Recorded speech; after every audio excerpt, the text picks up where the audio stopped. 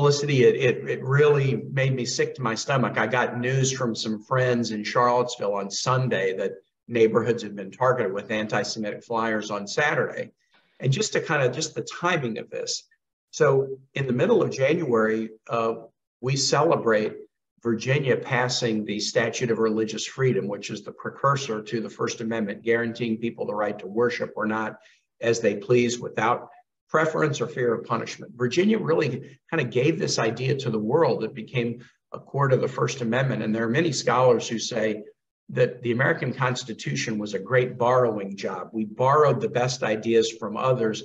But one of the real original parts of the American Constitution was this protection of religious liberty. So this matters to our country, and it really should matter to all Virginians because the idea of religious freedom and religious liberty really originated with us.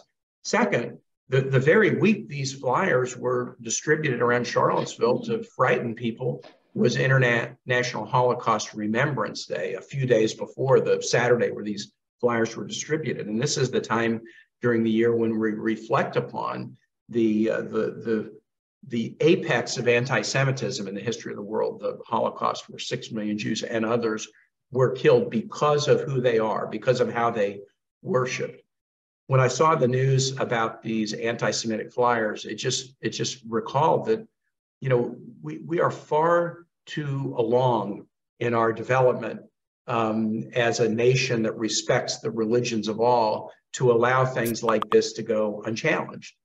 And so that's why I put out a statement yesterday highlighting but challenging this. And, and it, we really have to put on the shoulders uh, obviously our Jewish friends and neighbors, they'll speak for themselves, but they need allies. They need people who, who will speak out and for them and stand against hate. And particularly those of us in public life have to do it. This is also a particular challenge because there's scar tissue in Charlottesville from the Unite the Right rally in August 2017. A lot of people saw that rally and sort of it was a, ostensibly about Confederate statues. Why were people marching though outside synagogues and chanting Jews will not replace us and other statements that were vilely anti-Semitic.